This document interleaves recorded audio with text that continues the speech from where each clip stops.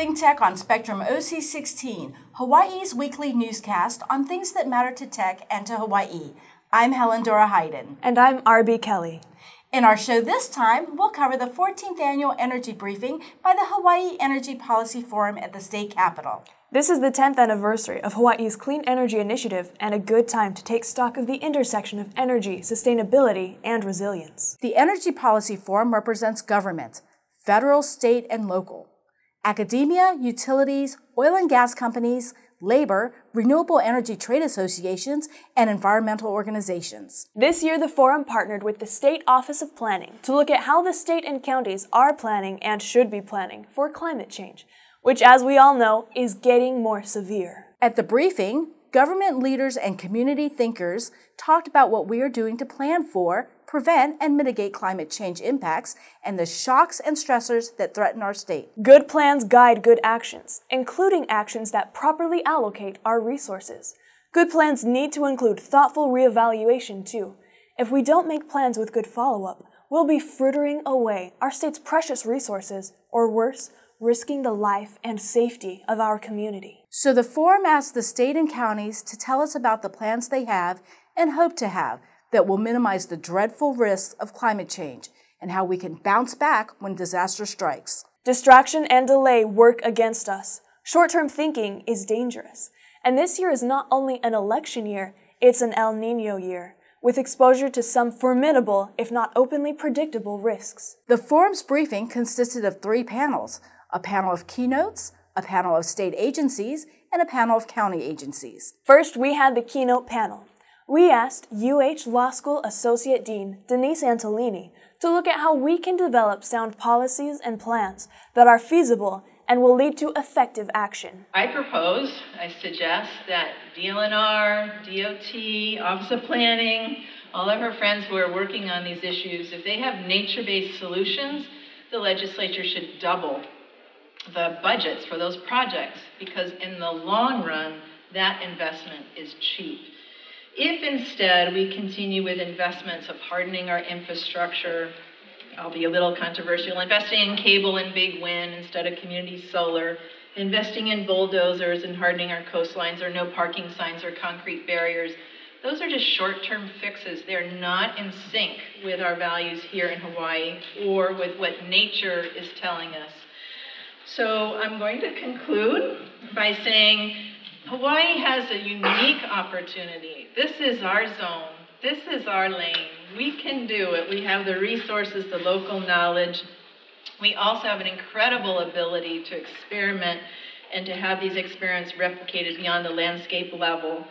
So I suggest that the way to move forward is to really invest in some landscape specific action plans that are nature based solutions to our adaptation and, uh, and, and energy related issues. Then we heard from the state's chief planning officer, Leo Asuncion, director of the State Office of Planning. How important is the Hawaii State Planning Act um, and the role it plays for just Hawaii's future in general, right? And my response to that is just look at history. Um, since statehood, we've had a general plan. Uh, under Governor Burns in the, in the 60s, he updated that general plan and he looked at things like the planning process, the goals for planning, economic growth, population projections, land use, transportation, and public facilities, and even a plan for recreation. Right, and that's in, in the 60s. Right, kind of fast forward to really when planning took off uh, in its heyday for the state uh, in 1978 under Governor Ariyoshi. Uh, and that was Act 100, which was the Hawaii State Planning Act as we see it today. Then we turn to Chip Fletcher, Associate Dean of the School of Ocean and Earth Science and Technology, SOEST, to discuss the science of climate change.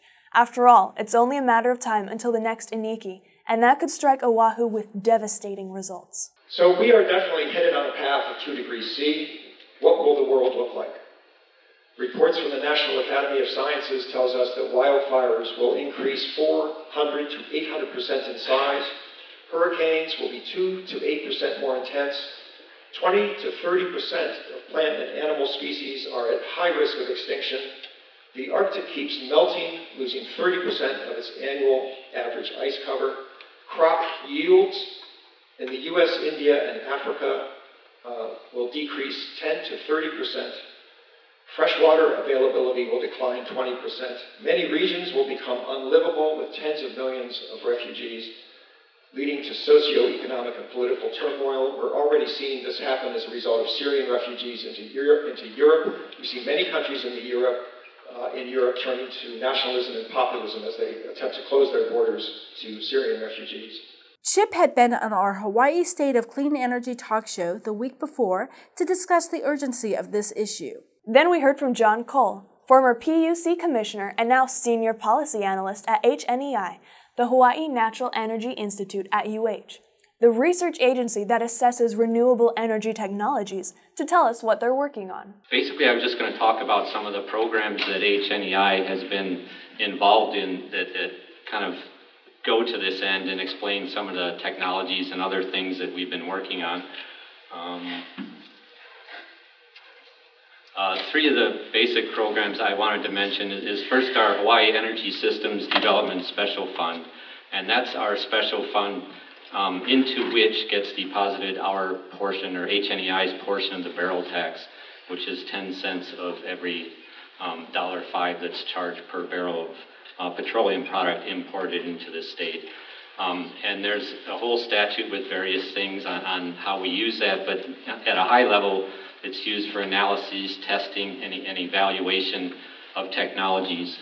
Then we had the state panel to find out what's happening in state government on these issues. From the Senate Committee on Transportation and Energy, Vice Chair Will Espero gave us the Senate's perspective on achieving a sustainable Hawaii. State Energy Office is not doing its job.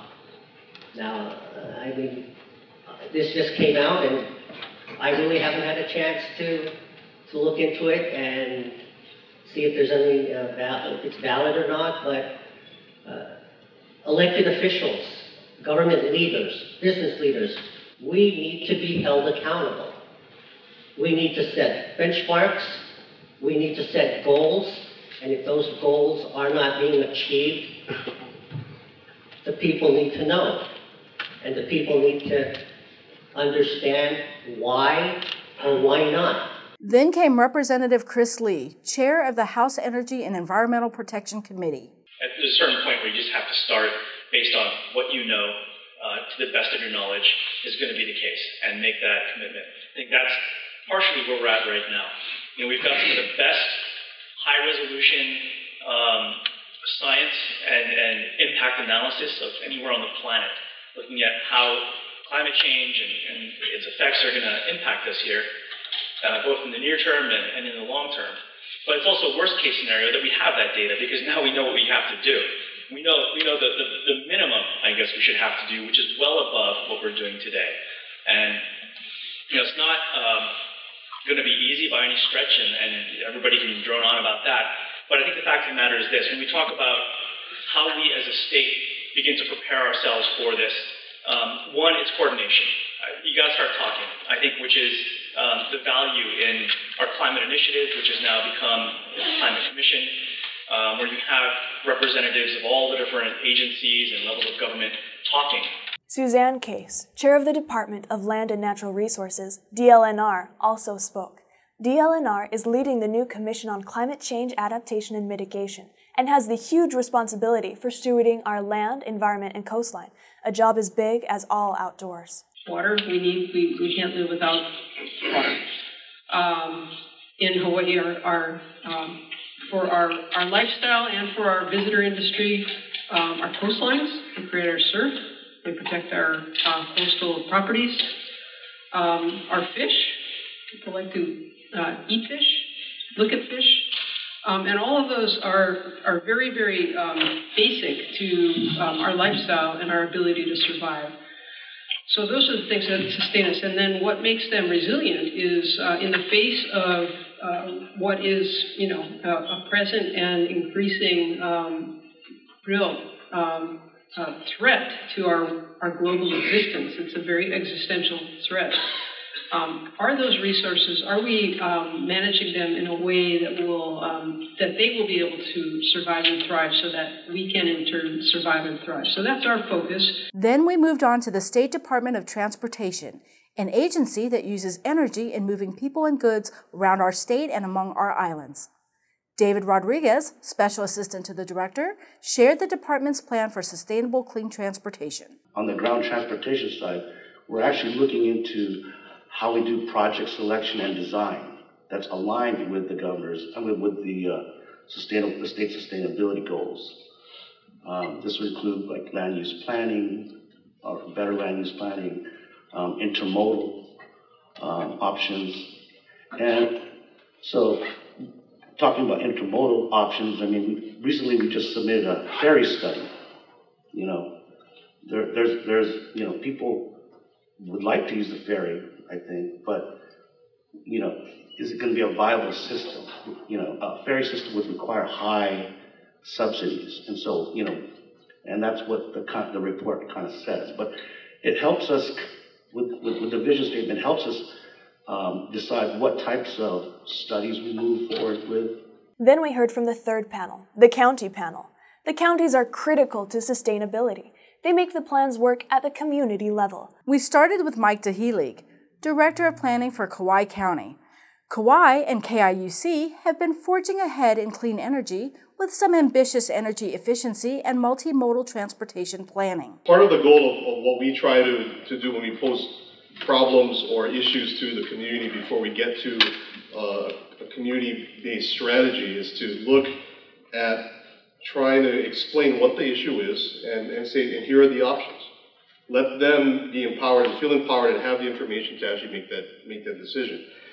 What we see a lot is that people um, don't necessarily want to uh, accept data. They, they think it's fake news. Uh, they, they think that uh, a tweet is a, is a cool counterbalance to what you're reading from a, a professor or um, somebody that, that studies this field. So how we get people to, to accept what is happening is, is part of you know, our goal as, as planners uh, in, in trying to move them towards, towards a goal. And that's why in as much as we would like to have a lot of our strategies uh, push us and turn a dime, uh, part of our, our goal is to actually look at it over the long term. Then we heard from Ron Whitmore, Deputy Director of Hawaii County's Department of Development and Research. He told us how the Big Island is building sustainability into its plans. In Hawaii County, for the time being, um, sustainability leadership is coming out of the Department of Research and Development. It's a bit of a unique department. Um, we inform policymaking and programming with good data and research and basically help the rest of the county operate in a sustainable way, working across um, agencies on uh, big issues like sustainability, like resilience. We house the energy um, program and several economic development programs as well. Um, just as an aside, I spent nine years of my professional life as a long range planner for that county, and so um, that helps me tremendously in this work because I understand both that, that planning perspective and that planning side and how that relates to the adaptation element of climate planning. Um, and then from the R&D side, um, looking at the energy and greenhouse gas mitigation side. We also heard from Fred Redell, Maui County's Energy Commissioner. He recently took ThinkTech on a tour of the energy facilities on Maui and Molokai Islands. The County of Maui has been interested in energy uh, constantly, has uh, taken an active role in how it affects our citizens, how the cost of energy affects our citizens, any matter with respect to energy. It's something that uh, the mayor has been actively involved in for a while. So, as you may know, in, in the past years, the county even commissioned a study looking at um, utility ownership and regulatory models uh, is a very limited study, not as big as the study that, that the state is currently undertaking, or at least not as uh, largely funded. Um, but um, you know, that was to look at, you know, how can we do better, or what can the county learn uh, about a greener future and uh, a better future for um, our citizens with respect to energy. So with that, of course, as we see at the moment, um, our utility has a, a rate case uh, uh, in a proposal to increase the rates by almost 10%. Uh, this is, you know, going to um, affect our citizens. It doesn't matter whether it's a result of the general cost of uh, doing business, whether it's uh, with respect to trying to meet the renewable portfolio standard. It's going to have um, uh, or create you know, an impact and, you know, have perhaps uh, negative unintended consequences. The newest office in the city and county is the Office of Climate Change, Resilience, and Sustainability. It has funding from the Rockefeller Foundation and clear support from the community. Josh Stanbro is the director. This is the new office that Jay is talking about that has been in existence. Um, I was hired May 1st, so we're relatively new on the scene. The other port, the other three counties had sustainability directors that were dedicated um, long before uh, Honolulu did. So we're sort of late arrivals, but with some of the support that Jay was talking about, we've been able to sort of hit the ground running and, and try to ramp up um, quickly. Um, this is really, I mean, the numbers are impressive. I don't think we should be distracted, you know, when we get together like this and, you know, it's a small room and there's, there's a few people. Um, the awareness and what is in front of us is shared by folks out in the community. This office passed with, um, you know, 16, 18% margin, which is a landslide in today's elections. Um, establishing an Office of Climate Change with that, with that right up in the title um, which is not to be replicated. There's no other city or county in this nation that we've found so far that has an office that's dedicated to climate change. So I think we shouldn't lose fact that as we propose some of these things, we should be we should push our ambitions a little bit harder and further because the folks that live close to the land in an island environment know exactly what they're up against and I think in some ways are more willing to accept some of those sacrifices and some of the advantages that both Mike and, and Fred had um, uh, put out there. After these three panels, we had some final advice from Colin Moore, director of the university's Public Policy Center. Any good plan, if we're talking about a sustainability plan, really has to be about politics. We have to recognize the political opportunities and the risks. And planning for, and many of you work for the state, this really does involve a lot of public trust. Um, and so what I wanted to just leave you with is this brand new pilot survey that my center and Sharon Center did. Um, to poll the white public. We actually know extraordinarily little in this state about what people think about politics. We've done very little polling. Um, and so this is the national average, not so surprisingly, right? 1958 to 2015. Do you think the federal government is right just about always or most of the time? Uh, the results are pretty grim, right? It used to be, you know, really quite remarkably positive in the early 60s. Um, now it's about 19%. But my question for you is, do you think we do better or worse than this federal survey uh, for the federal government? We're worse. And actually, this is remarkable because usually state and local governments poll better in, for most states than the federal government. We poll worse. Um, so it's 17% here in Hawaii. That's two percentage points lower than the federal level. Um, we asked them um, do you think the state government's run by a few big interests or run for the benefit of all people? Um, you know, we're a, we're a remarkably cynical group here. Um, people really do think the state is run by a few big interests. We hope the legislature and the public will be alert to these issues. If we don't make and implement good plans, the risks will be catastrophic. Now is the time to get our house together, not later. Carpe diem for government and for all of us.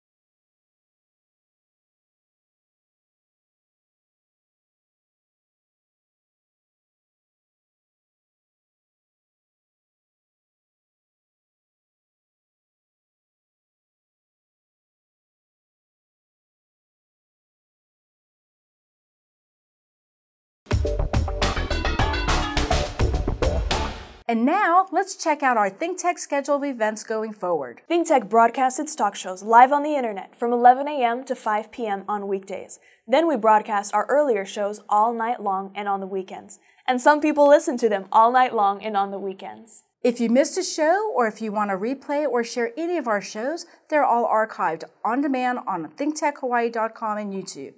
For our audio stream, go to thinktechhawaii.com slash audio and we post all our shows as podcasts on iTunes. Visit thinktechhawaii.com for our weekly calendar and live stream and the YouTube links. Or better yet, sign up on our email list and get our daily email advisories. ThinkTech has a high-tech green screen studio at Pioneer Plaza. If you want to see it or be part of our live audience, or if you want to participate in our shows, contact shows at thinktechhawaii.com. If you want to pose a question or make a comment during a show, call 808 374 2014 and help us raise public awareness on ThinkTech. More than ever, ThinkTech lives on the internet and on mobile devices. We're now streaming live on our Facebook page, and we're building an app for Apple and Android devices that will let you view our videos live and through the night and let you search and view our 7,500 videos on demand. Stand by and we'll let you know when it's available for download. Yes, we take calls during our live shows or anytime day or night. Leave us a question or a commentary to say what's on your mind. If it's not abusive, we'll play it. You can leave your name or be anonymous. Speak up, speak out, speak your mind on ThinkTech, and make yourself heard. Or, if you would prefer, we'll call you. We want to include you and engage you in our conversations. So don't be surprised if we call to say yes, we'll be calling you live on one of our shows. Stand by for that call. Go ahead, give us a thumbs up on YouTube or send us a tweet at ThinkTechHI. We'd like to know how you feel about the issues and events that affect our lives in these islands and in this country. We want to stay in touch with you, and we'd like you to stay in touch with us. Let's think together. And now here's this week's ThinkTech commentary. When the Washington Post published critical excerpts from 4,000 of the 7,000 pages of the Pentagon Papers, the Nixon administration took it to the U.S. Supreme Court. Nixon had already beat down the New York Times over a smaller leak, and because the Washington Post had used the same mole as the New York Times, the second battle brought the two competing papers together on one team. Arguably more than ever in American history, the First Amendment was at stake. Can a private entity inform the public about its government scrapes at the core of free speech. Washington Post publisher Katharine Graham, a demure Meryl Streep in the film, and editor Ben Bradlee, played by a suave Tom Hanks, stood to plummet from the heights of esteem to the depths of abject ruin, including jail time if nine Supreme Court judges ruled against them. Graham's family business, her pride and joy, and all that remained of her late father's and husband's legacies would be lost. Free Press had everything on the line. Acting is all we've come to expect from the likes of Streep and Hanks, and the revelational history behind the plot, told clearly and concisely, generates all the momentum we need. Pacing is swift, and we even get an interesting glimpse at the inner workings of 1970s linotype technology of the day. Some might cringe at the melodramatic soundtrack, but John Williams' instrumental chords were quiet enough. Set design and lighting, especially the gilded parlors and libraries marking Washington, D.C. elite society, conjures a powerful sense of place, the post is well done. Once upon a time, American aristocracy was all one and the same, a big, familiar country club dotted with gowns and martinis. Bradlee and Graham had both been close friends of Kennedy and Johnson, whose generosity had been instrumental to their own professional rises. One of Graham's dearest confidants was none other than Secretary of Defense Robert McNamara, a principal culprit behind the cover up. And Ben Bradlee had practically been family to the Kennedys, he was there for Jackie on the night of JFK's assassination. He recalls how his wife Toni hugged the grieving widow when she got home, still wearing that infamous pink jacket covered in her late husband's blood. A photograph of the two Bradlees and the two Kennedys sits on the Bradlee mantelpiece, harkening back to a bygone golden age. The Post does draw a line between Nixon and his predecessors, but just to say he was ruder to the press. Overall, it clusters the presidents together as fellow colluders in keeping the Pentagon Papers under wraps. Still, to understand why shifts occurred, why hostility broke out in both directions with spies and threats, we must understand that Nixon was fundamentally something new. Now, flash forward to the present. Snatching his election with rallies to, quote, drain the swamp, President Donald Trump is once again an outsider. And, as in 1968, snarling mouths are frothing like mad. Trump has repeatedly declared the mainstream media an enemy of the American people, echoing Nixon's earlier cries. Whoever may be the aggressor, today's, quote, fake news and war on the press has never been more shrill. Never before have the battle cries been more incessant between president and press. The Post arrives timely as could be and prompts us to weigh questions of free speech, morale, and public safety that will surely prove indispensable for many years to come. We'll be right back to wrap up this week's edition of Think Tech, but first, we want to thank our underwriters. The Atherton Family Foundation, Castle and Cooke, Hawaii, the Center for Microbial Oceanography Research and Education, Collateral Analytics, the Cooke Foundation, the Hawaii Council of Associations of Apartment Owners, Hawaii Energy, the Hawaii Energy Policy Forum, the Hawaii Institute of Geophysics and Planetology, Hawaiian Electric Companies, the High Tech Development Corporation, Galen Ho of BAE Systems, Integrated Security Technologies, Kamehameha Schools, Duane Kurisu, Carol Mon Lee and the Friends of ThinkTech, MW Group Limited, the Schuyler Family Foundation, the Sidney Stern Memorial Trust, the Volo Foundation, Yuriko J. Sugimura. Okay, RB, that wraps up this week's edition of Think Tech. Remember, you can watch Think Tech on Spectrum OC16 several times every week. Can't get enough of it, just like RB does. For additional times, check out oc16.tv. For lots more ThinkTech videos and for underwriting and sponsorship opportunities on ThinkTech, visit thinktechhawaii.com. Be a guest or a host, a producer or an intern, and help us reach and have an impact on Hawaii. Thanks so much for being part of our ThinkTech family and for supporting our open discussion of tech, energy, diversification, and global awareness in Hawaii. And of course, the ongoing search for innovation wherever we can find it. You can watch this show throughout the week and tune in next Sunday evening for our next important weekly episode. I'm Helen Dora Hyden. And I'm RB Kelly. Aloha, Aloha everyone. everyone.